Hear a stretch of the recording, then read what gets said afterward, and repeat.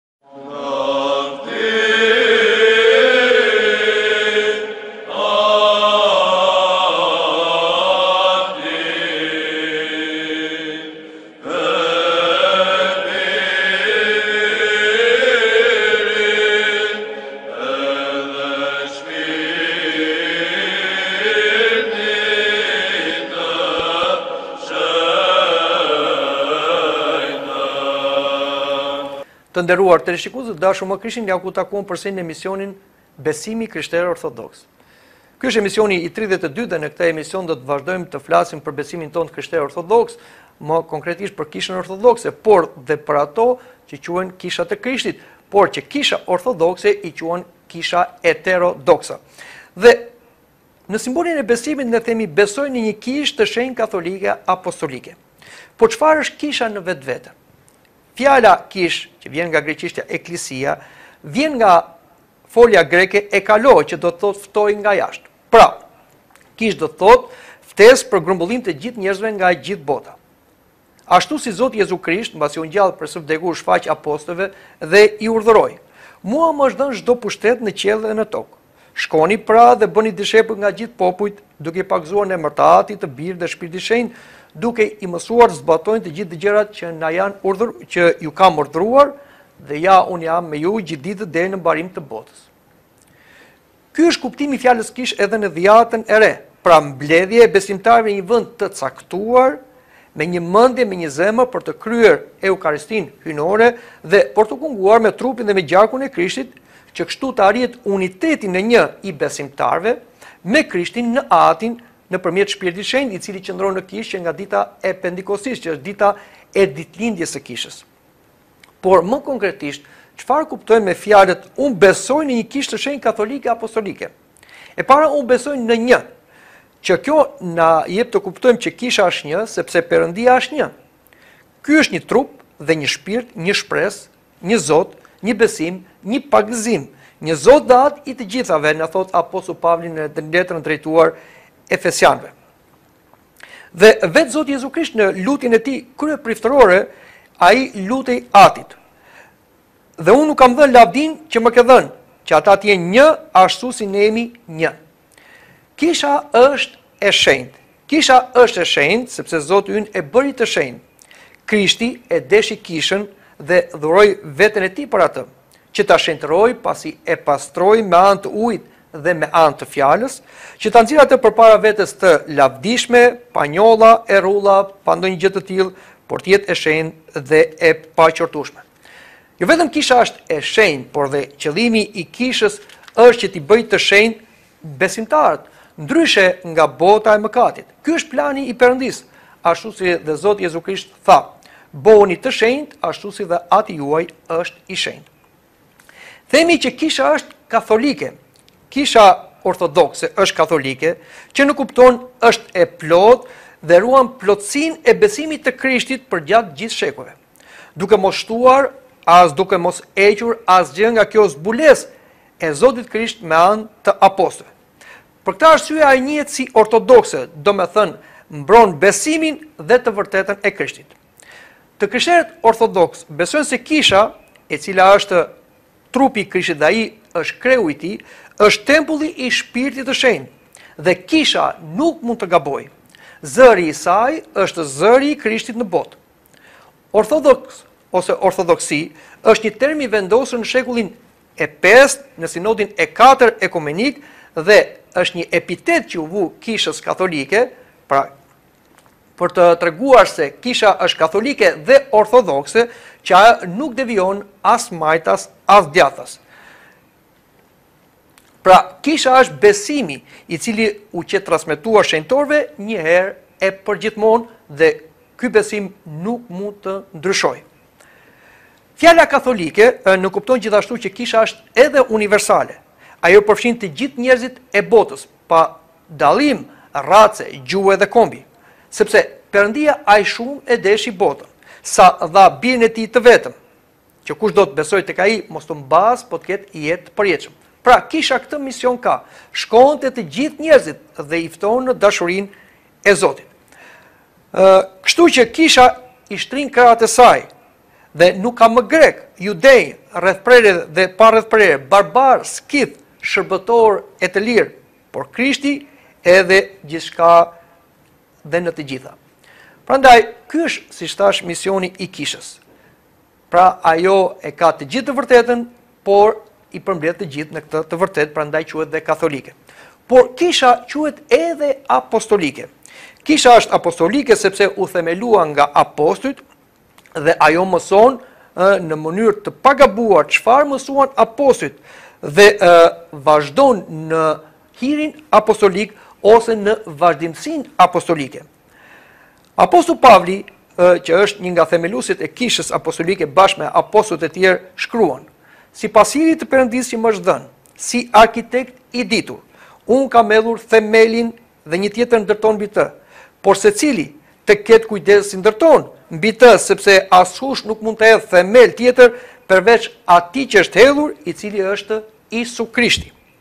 Për shembull, ishte apostull Pavli që themeloi Kishën e krishterë në Greqi, nëpërmjet udhëtimeve të tij të hershme misionare. Letrat e tij drejtuar Kishës së Korintit, të Thesalonikasve, Filipianëve, u shkrujtën për kishat që ishin themeluar në këtë kohë nga ai në këto qytete të Greqisë. Prandaj kisha është themeluar nga apostull, apostull Pavli, apostull Petro në vende të tjera, apostujt e tjerë në vende të tjera, prandaj ajo gjithmonë ekziston, sepse themelet e apostujve janë themele të pandryshuara. Ne dimë që apostull Pavli ka themeluar edhe kishën në Shqipëri, pra në qytetin e Durrësit ai ka ngritur bashkësinë e parë të krishterë. Dhe në letrën drejtuar Romakëve ai na thotë: Sepse nuk do të guxoja të flas për ndonjë nga ato gjëra të cilat Krishti nuk i bëri nëpërmjet meje, për t'i sjellë në dëgjesë johebrenjtë, me fjalë dhe me vepër, me fuqi shënjash dhe çudirash, me fuqi të frymës Perëndisë, kështu, prej Jeruzalemit e përqark e gjer në Iliri, kam kryer shërbimin e ungjillit të Krishtit, duke u përpjekur të ungjillëzoj atje ku nuk ishte njohur emri i Krishtit që mos ndërtoj mbi themele tjetrit. Por, edhe apostull, siç thashë, Petro, themeloi kishën në Antioki, e cila ekziston e, akoma, e, është kisha e patriarkanës Antiokisë, apostuj të tjerë, siç thashë themeluan kisha të tjera, në Jeruzalem, Aleksandri, Qipro, dhe e, kisha ortodokse ka ekzistuar në këto vende që nga tradita apostolike. Nga këto vende me kishë apostolike u përhap pastaj ungjilli dhe kisha në vende të tjera, siç më vonë në Rusi, Ukrainë, Serbi, Rumani, Bullgari e tjerë, të cilat dhe në këto vende u krijuan kishat apostolike, dhe të cilat sot quhen kisha të krishtera ortodokse. Dhe Kisha Ortodokse është ligjërimi dhe vazhdimi historik i Kishës së hershme. Pra ajo nuk ka ndryshuar, vazhdon mësimin e Apostujve dhe të Etërve të Shenjtë. Ajo ka të njëjtin besim, të njëjtën frymë, të njëjtin karakter kudo që të jetë. Ky është besimi apostolik, ky është besimi i Etërve, ky është besimi që ka themeluar universin, themi në mbrëmësoren e të dielës së Orthodoksisë. Kisha është e dukshme dhe e padukshme. Kisha është e dukshme në këtë tokë dhe quhet kisha militante, pra ajo kishë që përpiqet, që lufton për të vërtetën e Zotit me dashuri. Kurse kisha e padukshme është kisha triumfante, kisha në qiell, në Jeruzalemin qiellor, bashkë me engjëjt e shenjtorët, që është kuvendi universal i kishës së parëlindurve që janë shkruar në qiejt. na thotë apostull Pavli në letrën drejtuar hebrejve. Kisha është e pathyshme. Vetë Zoti Krisht premtoi se portat e ferrit nuk do të mund ta mundin kishën. Dhe ja, unë jam me ju gjithë ditët, deri në mbarim të botës.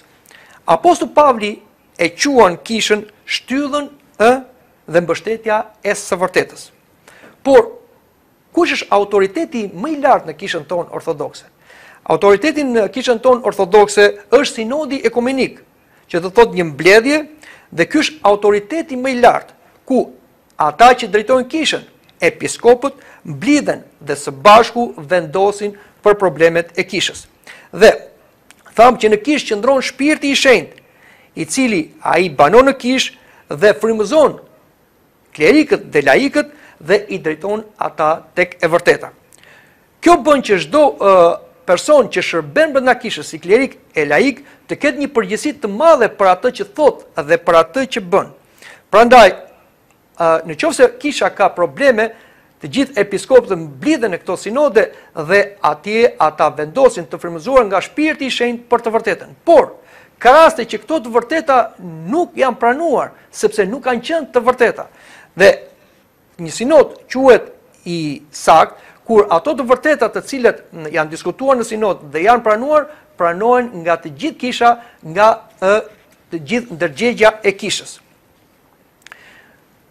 Por, sot ka dhe grupime të tjera të krishtera të cilat quhen kisha të krishtit. Ne si kishë ortodokse nuk besojmë dhe nuk e pranojmë këtë, sepse trupi i krishtit që është një nuk mund të ndahet në dy apo në shumë kisha. Por, siç thashë në fillim të emisionit, këto grupime i quajmë kisha eterodoksa. Fjala eterodoks pra vjen nga greqishtja do të thotë jo ortodoks, skizmatik, eretik. Heretik do të thotë ai që zgjedh pjesë nga shkrimi, nga e vërteta dhe interpreton ashtu siç do, skizmatik do të thotë i ndarë, i veçuar.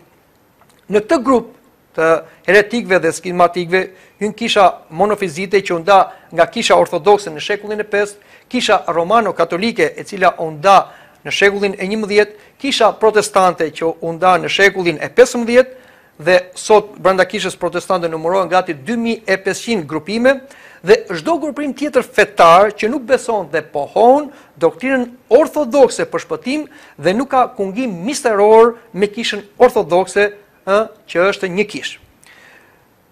Me këto grupime që përmenda më sipër, kemi gjëra që na bashkojnë, kemi dhe gjëra që na ndajnë. Por ka dhe grupe të tjera që e mohojnë hyjninë e Krishtit, siç janë Jehovajt, Mormonët, të cilët këta cilësohen si antikrisht dhe përbëjnë gati 33.500 sekte sot në botë.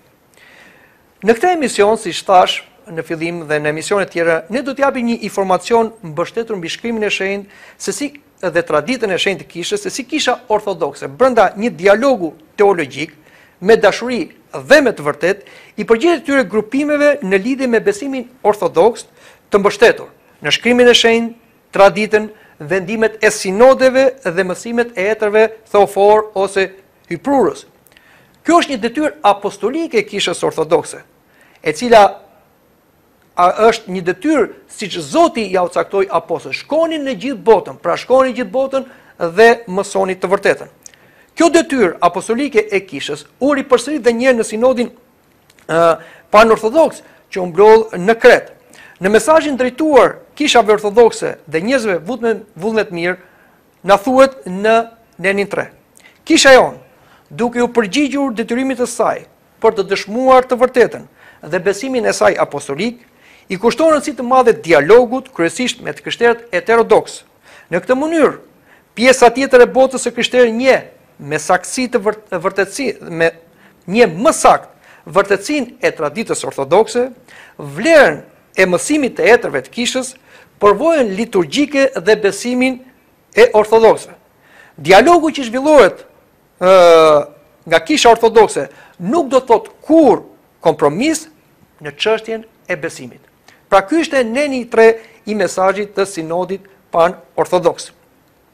Por le të fillojmë me kishën heterodokse e cila u nda e para nga Kisha katolike, apostolike, ortodokse, ë, që janë kishat monofizite. Kishat monofizite, që u ndanë në shekullin e 5, janë ato kisha të cilat ë pranojnë dhe besojnë vetëm një natyrë të Krishtit, vetëm natyrën e tij hyjnore. Kurse kisha jonë ortodokse beson dhe pohon se Zoti Jezu Krisht Ka dy natyra, hyjnore dhe njerëzore dhe dy vullnete, hyjnor dhe njerëzor. Por si lindi kjo ndarje e këtyre kishave nga Kisha Apostolike Ortodokse? Në fillim të shekullit të pestë, Nestori, peshkopi i Kostandinopojës, shpalli kundërshtimin e tij për të nderuar të Tërëshenjtën Virgjëreshën Zonjën Shën Mari si nënë të Krishtit, me titullin tradicional Theotokos ose Perëndilindëse, Hyjlindëse. Ai pretendonte se ai që lindi nga Maria ishte thjesht njeriu në të cilin logosi i përjetshëm i Perëndisë erdhi të banojë, por jo vetë logosi. Kështu Maria, sipas Nestorit, nuk mund të quhej Theotokos, që do thoshte Perëndilindëse, por në qoftë se do e quanim kështu, thjesht si një titull ë për ta simbolik pohon se në të vërtetë ajo ishte hyjlindëse. Shën Qirili, peshkopi i Aleksandrisë, e kundërshtoi me forcë mësimin e Nestorit në Sinodin e Tretë Ekumenik në vitin 431 që u mbajt në Efes, duke deklaruar se ishte me vend të quhej Maria Theotokos, meqenëse ai që lindi prej saj sipas mishit, Nuk ishte tjetër përveçse logosi hyjnor i Perëndisë, i vetëmlindur biri i Perëndisë, i lindur nga Ati përpara jetëve, duke zbritur prej qielli për shpëtimin e njeriut, duke lindur në mish dhe duke bërë njeri prej virgjëreshës. Kështu, thotë Shën Qirili, biri i Perëndisë dhe biri i Marisë është një bir. Dhe Doktrina mbi Krishtin si Biri i mishëruar i Perëndisë u zhvillua dhe u shpjegua më tej në Sinodin e Katërt Ekumenik në Kalqedoni në vitin katërqind e pesëdhjetë e një. Ky lloj shpjegimi ishte i nevojshëm sepse ishte një tendencë për të theksuar natyrën hyjnore të Krishtit aq shumë saqë natyra e tij njerëzore pothuajse ishte mohuar fare. Në Sinodin e Katërt u bë formulimi i famshëm që thotë se Jisu Krishti, Biri dhe Fjala e mishëruar e Perëndisë është një person ose hipostazë që ka dy natyra të plota, hyjnore dhe njerëzore. I frymëzuar nga letra e Shën Leonit, Papës së Romës, Sinodi i Katërt insistoi që Jisui është krejtësisht çfarë Perëndia Atë është në lidhje me hyjninë e tij, Kjo ishte një referencë direkt në besoren e Nikeas që shpallte Birin e Perëndisë që ka të qenët një me Atin. Që thjesht do të thotë çfarë është Perëndia At, Biri është gjithashtu. Dritë prej drite, Perëndi e vërtetë prej Perëndie të vërtetë. Gjithashtu, Sinodi insistoi që në Mishërim Biri i Perëndisë u bë krejtësisht si të gjithë qeniet e tjera njerëzore, duke rrëfyer se Jisu Krishti ka gjithashtu të qenët një me të gjitha qeniet njerëzore në njerishmërinë e tij. Kjo doktrinë mbronte mësimin e besës apostolike të shkruar në Ungjijtë dhe në shkrimet e tjera të Dhiatës së Re. Për shembull, në letrën drejtuar në letrën e apostull Pavlit na thuhet, i cili duke qenë në formë të Perëndisë, pra Krishti, nuk e numëroi për rrëmbim të qenurit si një me një me Perëndinë, por e zbrazi veten e tij dhe mori formë shërbëtori, u bë porsi njerëzit në ngjashmëri dhe duke u gjendur në fytyrë porsi njeri, e përuli veten e tij, u bë i bindur deri në vdekje dhe në vdekje kryqi. Pra, kjo është letra e apostull Pavlit drejtuar filipianëve. Në letrën drejtuar hebrenjve ai përsëri shkruan: Perëndia mbasi u foli së lashti, shumë herë dhe në shumë mënyra etërve me anë të profetëve, së fundi, këto ditë na ka folur me anë të birit, të cilin e bëri trashëgimtar të gjithë gjërave, me anë të cilit krijoi dhe gjithësinë. Dhe në ungjillin sipas Joanit, Në kapitullin një, vargu një thuhet, Në fillim ishte fjala dhe fjala ishte pranë Perëndisë dhe fjala ishte Perëndi. Dhe fjala u bë mish. Pra, kjo ishte, kjo ishte doktrina e sinodit të katërt ekumenik. Por, ja çfarë thotë e, më qartë ky sinod. Duke ndjekur etërit e shenjtë, Ne mësojmë me një zë që Biri i Perëndisë dhe Zoti ynë Jezu Krisht duhet të rrëfehet si një dhe i njëjti person. Dhe ai është i përsosur si hyjni dhe i përsosur si njeri. Perëndi i vërtetë dhe njeri i vërtetë, i përbërë me shpirt të arsyeshëm dhe trup njerëzor, dhe që ka të qenët një me Atin përsa i përket hyjnisë së tij dhe ka të qenët një me ne përsa i përket ë njerishmërisë së tij.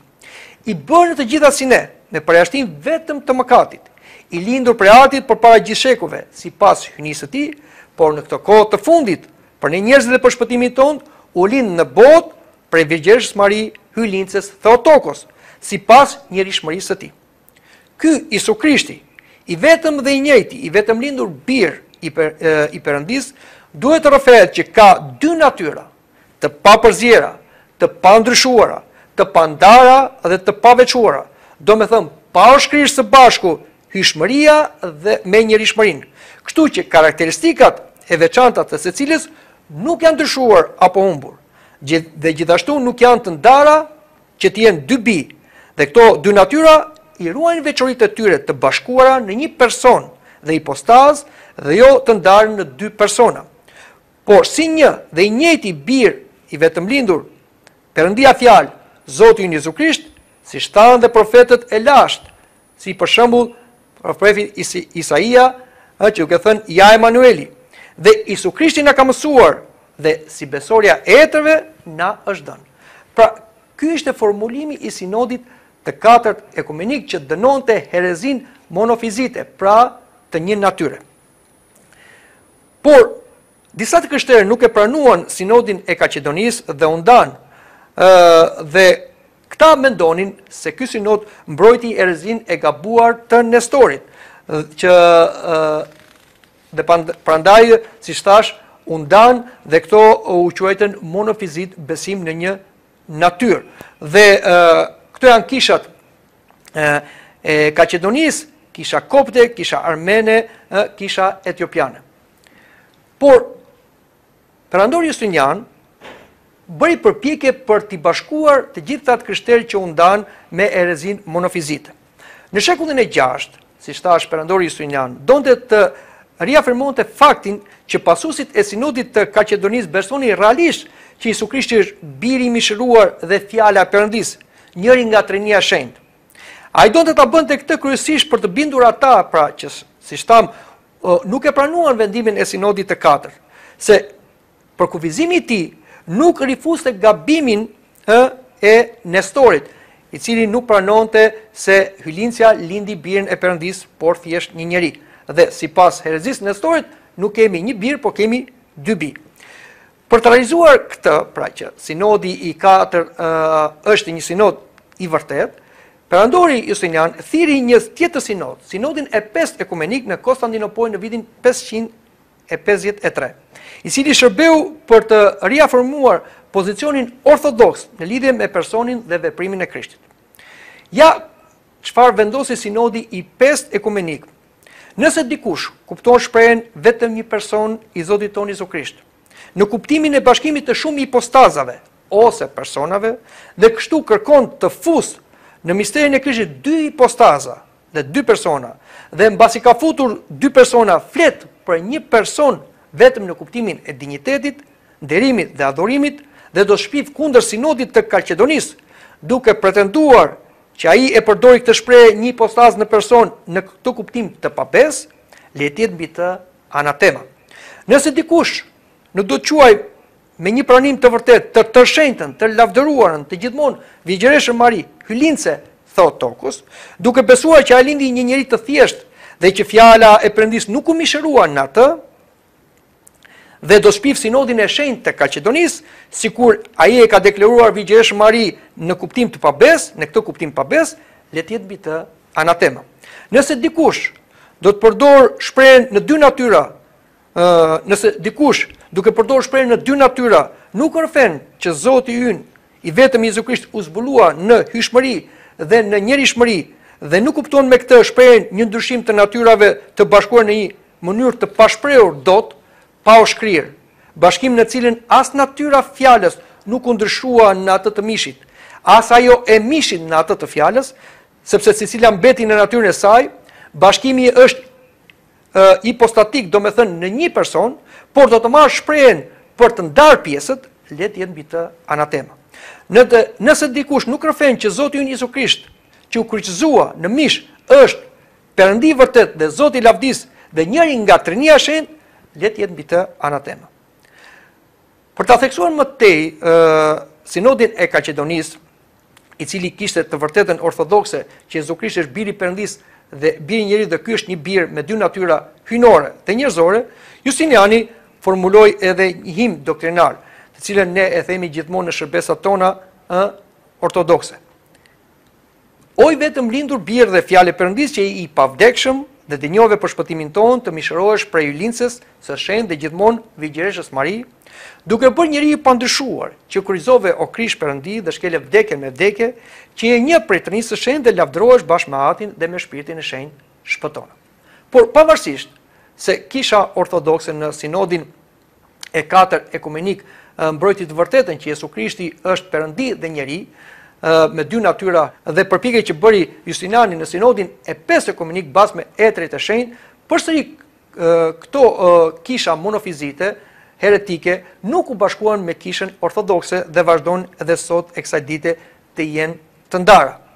Dhe përpjekjet e kishës ortodokse vazhdojnë akoma brënda një dialogu teologjik, që edhe këto kisha monofizite të kuptojnë se vendimet e sinodit të katërt ekumenik nuk ishin tradhti, pra nuk pranonin herezinë e Nestorit që mohonte Hyjlindësen si Hyjlindëse, por vazhdojnë siç thamë akoma të jenë të ndarë. Të dashur më Krishtin, mendoj që këtu ta mbyllim këtë emision, për t'u takuar në emisionin tjetër për të folur përsëri për kishat e tjera heterodokse, të cilat janë ndarë nga kisha ortodokse që është një kishë katholike apostolike. Deri atëherë, mirupafshim.